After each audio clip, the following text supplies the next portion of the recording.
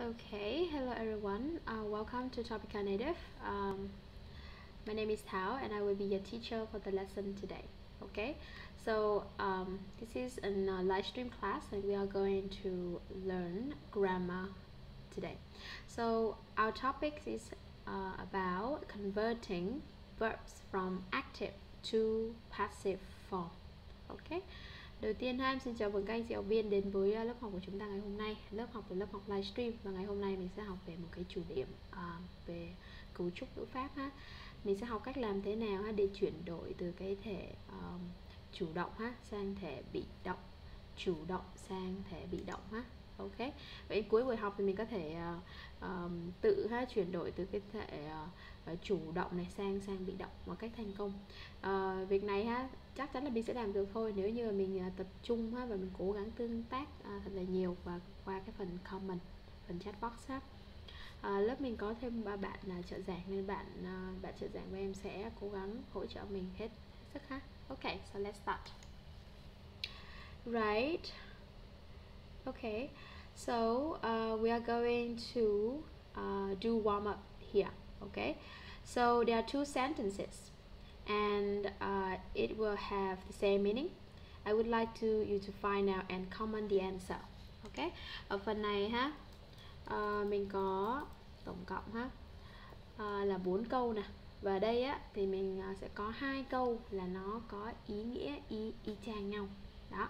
Vậy thì công việc của mình bây giờ mình sẽ thử comment cái số ví dụ số 1, số 2, số 2, số 3 gì đó vào cái phần chat box xem là hai câu này nó cùng nghĩa giống như nhau. Ok. Vậy câu đầu tiên của mình có là I uh, Sam uh, repaired the car. Number two the car wasn't repaired. Number three Sam was repaired by the car. And the car was repaired by Sam ok. Vậy thì mình nghĩ à, đây là cái uh, câu câu nào ha sẽ có ý nghĩa giống giống như nhau. Ok. Hiện tại em thấy được uh, Miss V ha và Mr Mr Huy đã đưa ra câu trả lời của mình. Very well. Uh, ngoài ra thì em biết là lớp mình còn học viên khác nữa ha nên mình có thể nhanh nhanh chóng ha comment vào cái phần này. Ok. Hello Mr Mr Kha. Ok. Good. Good. Okay welcome welcome to the class. And now let's check the the answer. Okay So the answer would be number one and number four. Number one, Sam repaired the car. Câu này mang nghĩa là Sam đã sửa cái xe. Ok, Sam đã sửa cái xe. Vậy thì đây á, Sam đã sửa cái xe. Tại sao em đọc là Sam đã sửa ha? Bởi vì cái từ repair, repair nghĩa là sửa. Và đây nó đang được chia ở cái thì quá quá khứ đúng không ạ? Mình thấy đằng sau có ed kết thúc bằng ed ha nên là mình sẽ dịch là Sam đã đã sửa ha cái cái xe. Ok. Và tiếp theo á, là câu uh, thứ 4 ha câu thứ 4 nè. Mình thấy là the car was repaired by Sam. Ok. Vậy thì bây giờ em sẽ viết cái câu này này ra ha. Ok. Uh, câu đầu tiên Sam đã sửa cái cái xe. Câu thứ hai cái xe đã được sửa bởi Sam. Ok. Rồi, em viết hai câu này ra. Đầu tiên này, Sam repair the the car. Ok. Và number number two, the car was repaired by Sam. Cái xe ha đã được sửa. Ok. Bởi Sam. Alright. Rồi bây giờ mình sẽ xem thử ha. Hai cái câu này á cái hai cái câu ý nghĩa y chang nhau. Một cái là chủ động và câu đầu tiên là Sam. Sam chủ động sửa cái xe. Và cái ở cái câu thứ 4 ha là cái xe đây là một vật vô tri vô giác nên nó sẽ ở cái thể bị động đúng không ạ? Ok trong cái trường hợp này ha. Um, được sửa được sửa bởi Sam. Ok right. Next let's continue. Okay So now we are going to the conversation. I'm going to read it first okay and you need to listen to me and you're going to repeat after me. Ok. Ở phần này có một cái đoạn hội thoại ha. Em sẽ đọc hai lần. Lần đầu tiên á thì em sẽ đọc um, tốc độ bình thường ha hoặc là tốc độ nhanh hơn một chút xíu ha. Uh, và sau đó thì uh, em sẽ đọc lần thứ hai. Lần thứ hai thì mình có thể uh, đọc theo em ha. Đọc theo em. Okay so uh, let let's start. I'm going to San Francisco for a few months will you take your dog with you yes I booked airline tickets for me and my dog. I thought they don't allow animals on planes. Many flights offer a pet transport service. So yes, animals are allowed on planes these days. Ok, rồi. Vậy câu này ha mình sẽ dịch sơ cái đoạn hội thoại một chút xíu nè à, bạn nữ thì bạn có nói là tôi chuẩn bị sẽ đi đến thành phố San Francisco ở Mỹ ha, trong một vài tháng thì cái người bạn của bạn đấy mới nói là vậy thì bạn có mang theo cái chú chó của của mình không?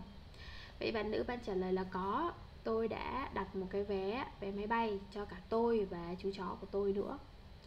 À, tôi nghĩ tôi đã nghĩ là họ không không cho phép ha thú vật nuôi lên ở lên trên máy bay. Và bạn nữ bạn mới trả lời là rất là nhiều chuyến bay ha có cái dịch vụ uh, dịch vụ ha dành cho thú vật nuôi vận chuyển thú vật nuôi. Nên là có ha bây giờ thì thú vật nuôi đã được cho phép lên trên máy bay rồi ok rồi bây giờ đây là về cái nghĩa bây giờ mình sẽ cố gắng đọc đọc theo em ha ok so let's start I'm going to San Francisco for a few months. Will you take your dog with you? Yes, I booked airline tickets for me and my dog.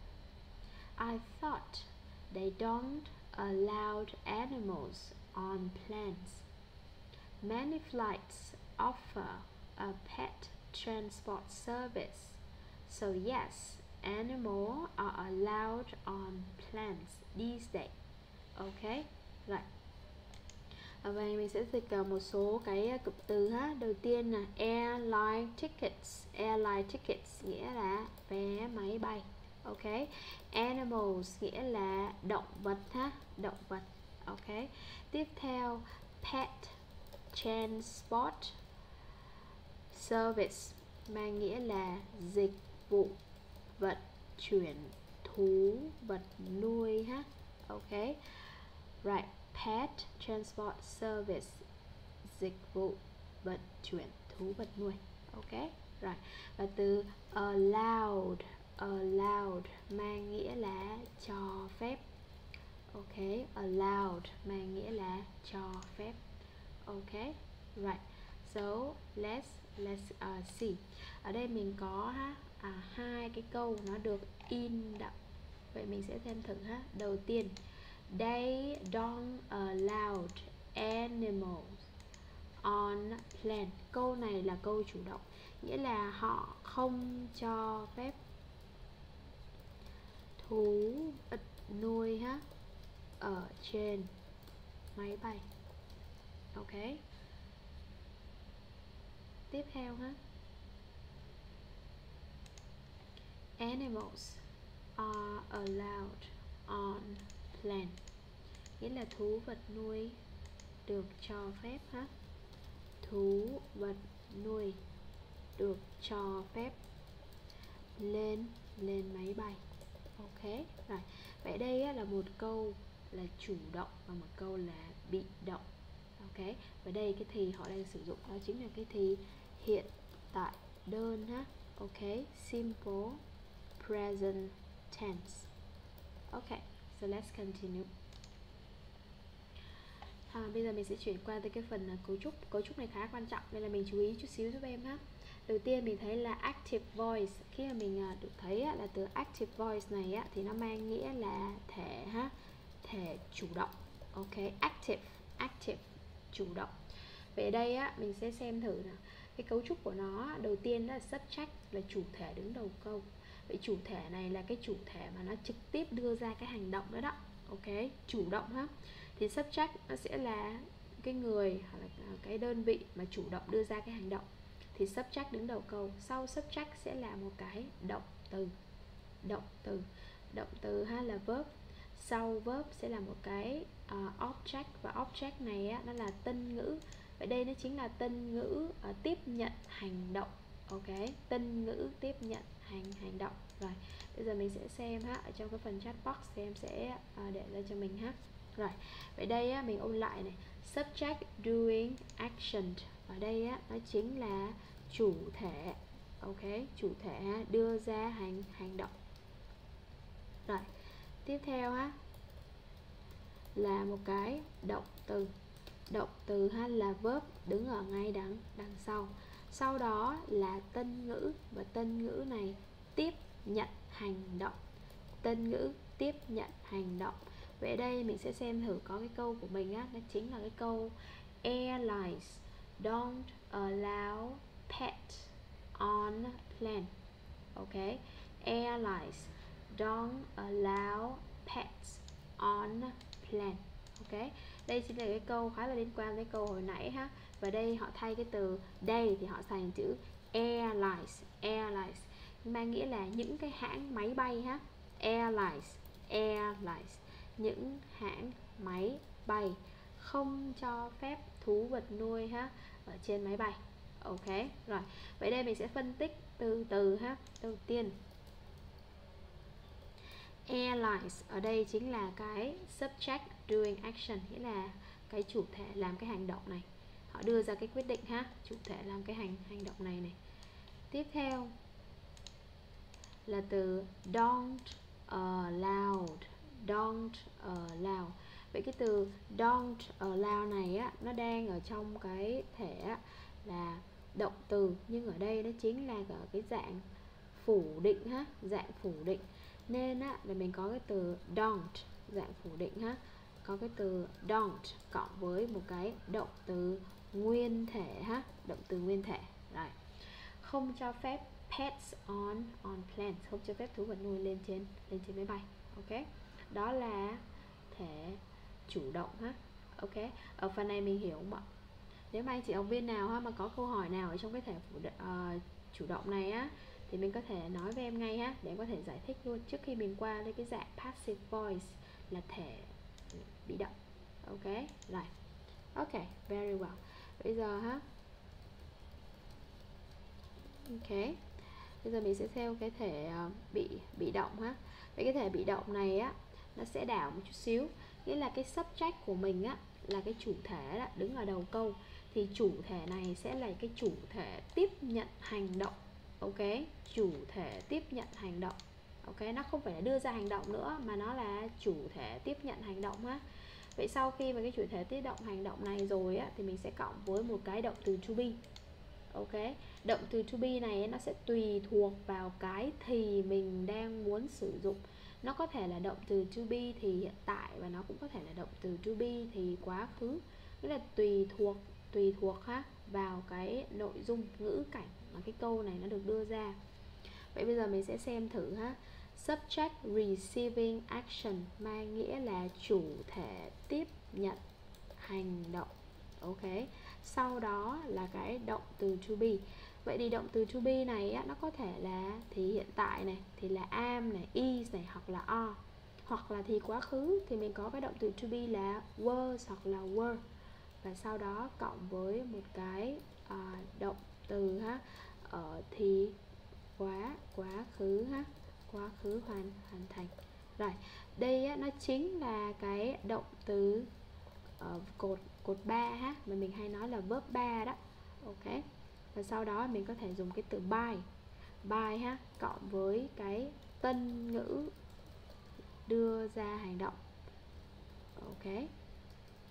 Rồi bây giờ mình sẽ xem thử cái câu ví dụ á. Câu ví dụ này của mình á, nó là pets aren't allowed on planes ok. Rồi, mình sẽ xem thử cái từ pets này ha pets này nó chính là cái subject tiếp nhận hành động. Ok subject tiếp nhận hành động ha vậy thì mình sẽ xem thử nè. Pets nghĩa là subject receiving action. Ok tiếp theo là từ are aren't. Aren't này nó chính là động từ to be đúng không ạ? Viết tắt của cái từ are not. Ở đây mình đang muốn nói về cái phần mà uh, thì là thì hiện tại hiện tại đơn. Nên là mình mới nói là pet aren't allowed. Vậy thì allowed này á là cột verb 3 hoặc là verb verb 2 đúng không ạ? Để chia cộng thêm cái ed đằng sau. Ok. Vậy đây ha một là verb ed hai á là verb bước 3 ok. Rồi next one. Ở đây ha mình sẽ comment cho em một số cái ví dụ sử dụng cái cấu trúc này. Ví dụ như là mình có thể đặt cái câu chủ động. Tôi không cho phép con gái tôi ha nha yeah. à, xem tivi muộn chẳng hạn hoặc là xem tivi và con gái tôi không được phép xem tivi ok rồi tiếp theo ha mình có thể comment một số cái um, câu của mình vào cái phần uh, chat box comment này ha. Uh, Mr. K mình có câu hỏi nè. When will we use been in a sentence? Ok when we use been in a sentence. Ok rồi. Vậy cái câu uh, cấu trúc này ha. Rồi. Uh, khi tùy thuộc vào cái thì tùy thuộc vào cái thì ha cái thì mình đang làm. Ví dụ như ha um, I I have been. Okay I have been uh, taken. Okay care of. Okay by my brother. Okay I have been taken care of my um, by my brother. Vậy câu này mang nghĩa nè mình nhìn thử cái câu này chính là câu uh, bị động ha và lúc này á, thì mình sẽ sử dụng. Bị động này nó chính là dùng đang sử dụng cái thì là thì hiện tại hoàn thành ha thì hiện tại hoàn thành. Rồi ok. Như là tôi tôi ha à, tôi à, đã được chăm sóc ok bởi bởi anh trai bởi anh trai tôi ok. Vậy tiếp theo ví dụ câu này mà mình làm chủ động thì mình sẽ nói là my uh, brother has ok has uh, taken care of of me. Ok rồi. Vậy khi nào mình dùng pin thì khi á, mà mình ờ, đang sử dụng những cái thì về hoàn thành á, thì mình sẽ dùng pin và dạng bị động. Ok liên quan đến câu uh, câu hỏi ngày hôm nay ha.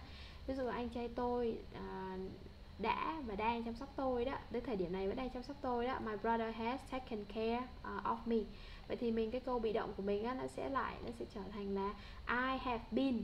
Đúng không? I have been taken care of by my brother.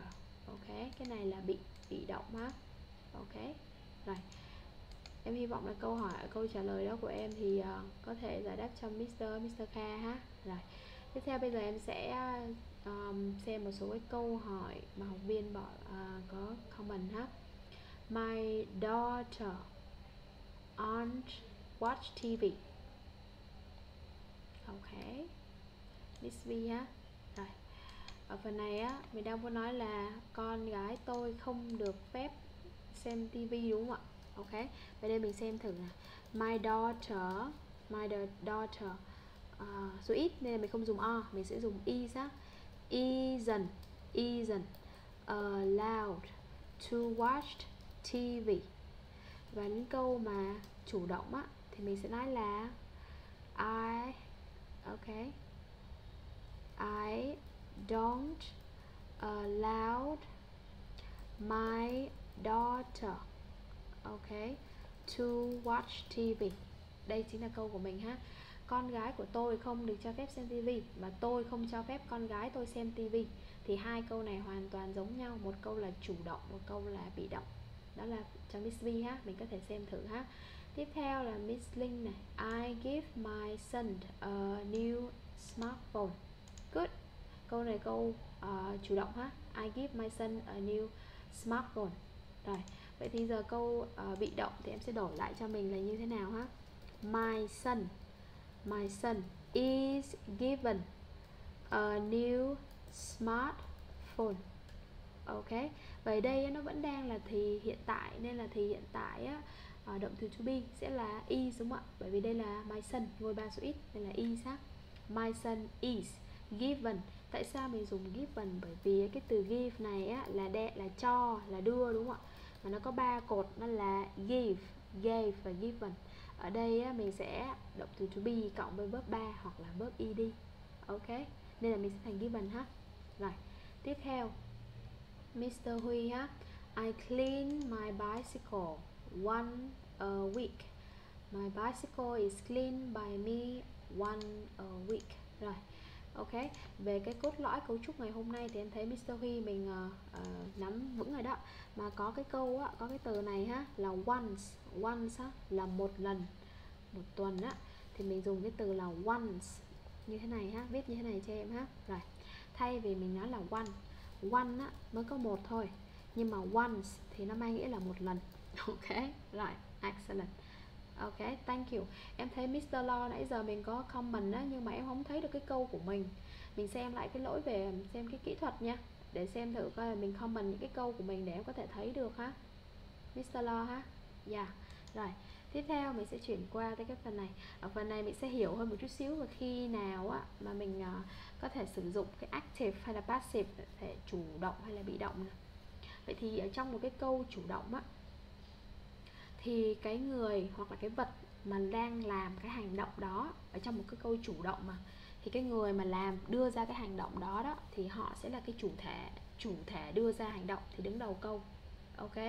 Và cái người mà tiếp nhận cái hành động đó đó thì à, nó người đó sẽ là sẽ là một cái tân ngữ, ok? Mình nhớ không ạ? Subject doing action, ok?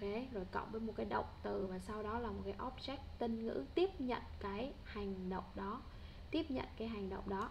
Rồi, em sẽ để lại cho mình cái phần này ha, để mình có thể nhìn thấy ha. Rồi, ok? Em sẽ đi rất là từ từ ha để mình có thể nắm vững được cái phần này nè. Nên là mình bất kỳ học viên mà mình có câu hỏi nào thì mình có thể hỏi em ngay ha. Rồi tiếp theo là trong những cái câu này đó thì cái khi mà mình muốn nói về cái thể uh, thể uh, chủ động đó thì uh, những cái mà nó làm chủ ngữ thì cái chủ ngữ mà đưa ra cái hành động thì đó là cái cái đối tượng quan trọng nhất ok tối thiểu quan trọng nhất. Và thông thường thì những cái câu nói uh, khi mà mình nói tiếng Anh và giao tiếp á, thông thường á, thì uh, nó sẽ ở dạng là dạng chủ động. Ok dạng chủ động ha. Rồi tiếp theo. Bây giờ mình uh, sẽ qua cái phần passive nghĩa là bị động nè. Bị động á, là sao?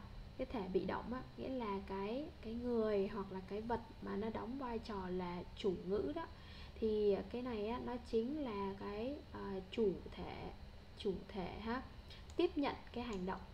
Chủ thể tiếp nhận hành động ha. Rồi vậy chủ thể tiếp nhận hành động đây nó sẽ là cái đối đối tượng quan trọng nhất. Ok nó sẽ là cái đối tượng quan trọng nhất ha ở trong cái à, cái câu của mình. Và khi mà họ muốn nói đó họ ok là họ muốn nói rằng á, là mình họ đang muốn nhấn nhấn mạnh ha ok mình đang uh, nhấn nhấn mạnh ha là về cái uh, chủ thể và chủ thể tiếp nhận cái hành động này. Ví dụ như mình nói cái câu là uh, tôi không uh, cho phép con gái tôi xem tivi và con gái tôi uh, không được cho phép.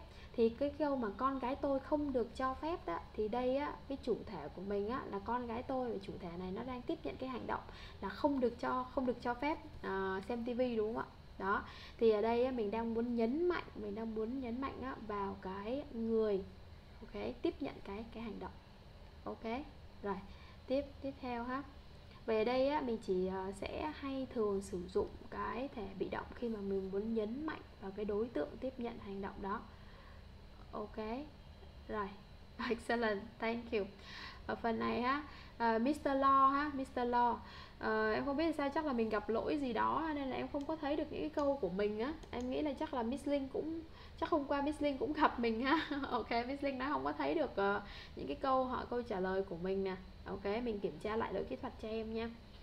Rồi I told you uh, go out right now. You have told go out right now. Ok đó là câu của Miss Miss Thanh ha rồi bây giờ em sẽ sửa cho cái câu của Miss Thanh trước khi mà mình uh, qua tới phần chơi trò chơi ha. Rồi Miss Thanh. I told you. Told này là quá khứ. Nghĩa là ở đây mình đang sử dụng cái thì là thì quá khứ. Quá khứ đơn ha chị Thanh ha. Rồi vậy đây mình sẽ đổi lại cho em ha.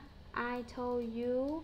Okay to go out right now. Ok. Và tiếp theo mình đổi lại thì mình sẽ nói là uh, you you you were told to go out right now. Ok? Yeah. Đây chính là cái câu uh, của ok very well. Excellent. Đây chính là cái câu của Miss Thanh ha. Miss Thanh có thể xem thử ha. Yeah. Ok. Không sao ha Mr. Lo mình cứ nghe thử ha. Rồi có phần nào mình cứ hỏi em. Tiếp theo Miss Hương nè. My company requests all customer to wear uh, to wear the mark. Cái này chắc là uh, khẩu trang ha. Rồi em sẽ viết lại cái phần này cho mình ha. Rồi my company uh, request request. Uh, o O thì đằng sau phải có số nhiều ha. Customer to wear ok. A, a mask ok a mask. Rồi vậy tiếp theo á mình cái câu này á mình sẽ đổi thành là all customer thêm SM ha. Are requested to wear a mask in uh, by the company rất chính xác. Vậy đây mình chỉ nhớ là cái số nhiều á thì mình sẽ đổi thành customer cho em á. Customer số nhiều này. Tiếp theo á là chữ mask mask ok mask ok. À, viết đúng chính tả cho em nha ok rồi bây giờ mình sẽ qua đến cái phần trò chơi ha. Ok right. Ở phần này mình có hai câu ha. Câu đầu tiên này his grandmother looked after him. À, bà của anh ấy chăm sóc anh ấy. Câu thứ hai someone has cleaned the window. Ai đó đã um, lau chùi cái cửa sổ. Ok ok. Bây giờ mình sẽ đổi những cái câu uh, chủ động này ha thành câu bị động ha.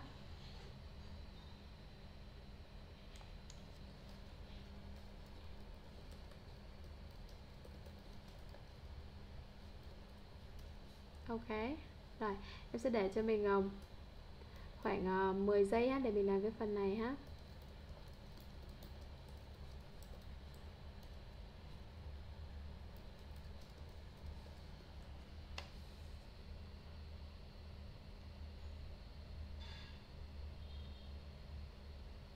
Ok. Rồi, what about number 2? Câu 2 như thế nào ạ?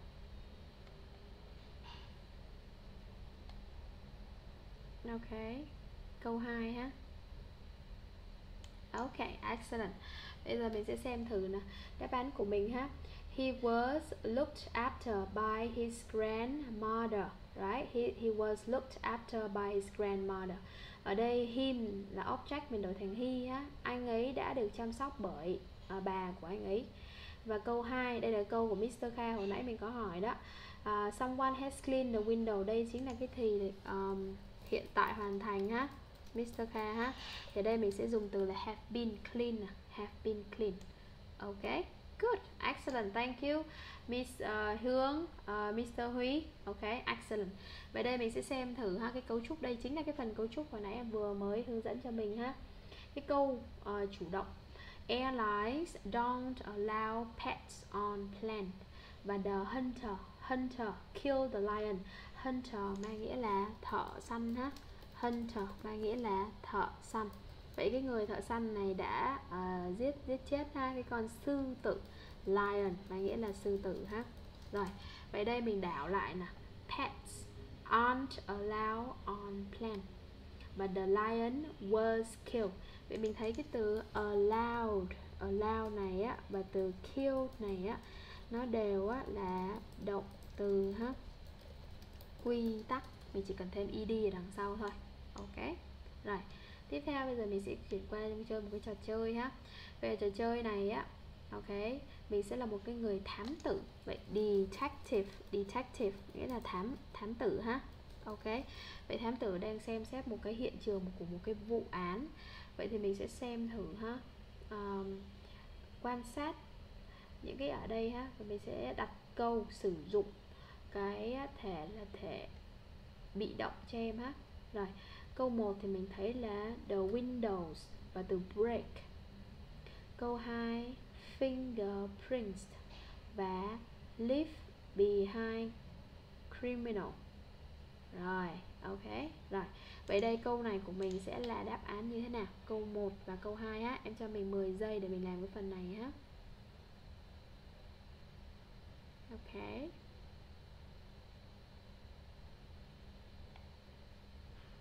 Ok, vậy em gợi ý cho mình nè.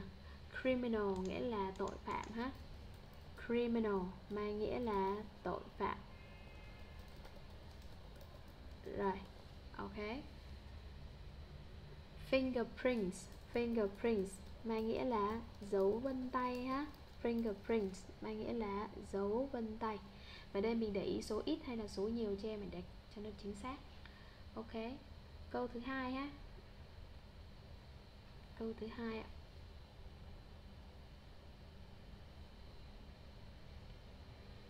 Ok. Ok. Ừ uh -huh. ok ok Mr. Law mình dùng sẽ chính xác ha. Mình đã biết sử dụng cái phần này rồi. Rồi bây giờ mình sẽ đi vào cái phần đáp án nè câu 1 ha. The windows the windows uh, were broken were broken. Ok vậy đây là một cái hiện trường vụ án thì họ tới họ xem thử xem là cửa sổ như thế nào. Thì đây đã đã bị đã bị phá đã bị phá vỡ. À, ok. Vậy đây mình sẽ sử dụng là cái thì là thì quá quá khứ đơn. Đây mình sẽ dùng the windows were broken windows số nhiều nên thành were tiếp theo là câu 2 ha.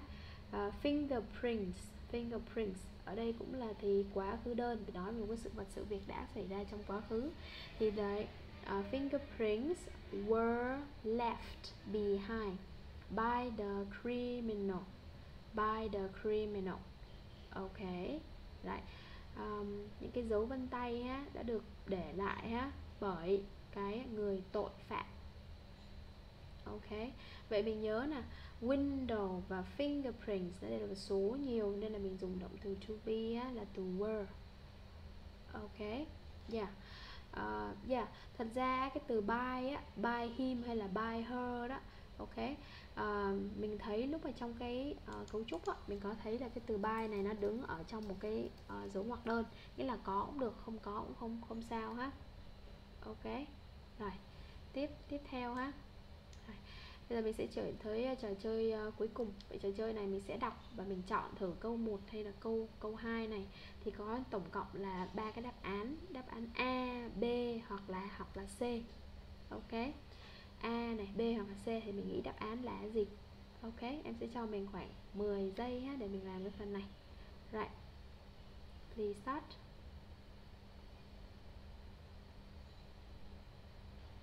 Mm-hmm the thief kẻ trộm ha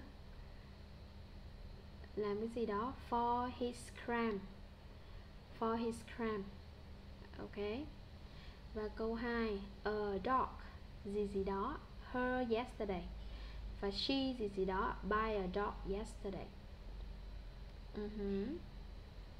good very well Miss Thanh and uh, Miss Hương and Mr. Mr. Huy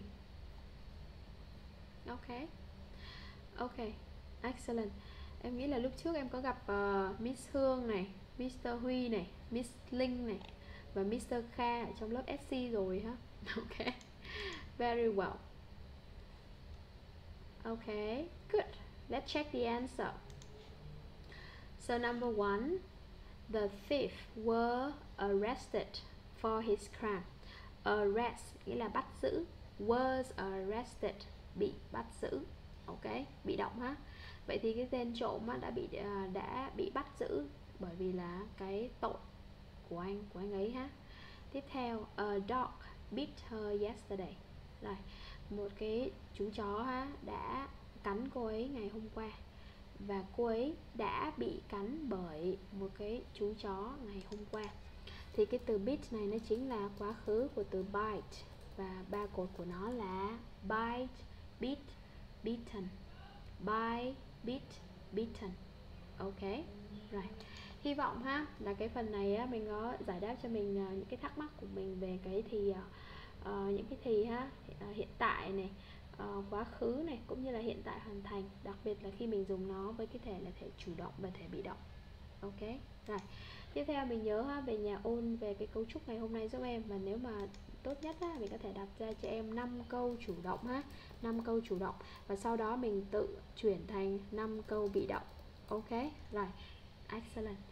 Em hy vọng là mình đã thích cái buổi học ngày hôm nay ha. Hôm nay thì nó hơi quá giờ một chút xíu nhưng quan trọng là mình nếu như mà học viên đã hiểu bài ngày hôm nay thì rất là tốt.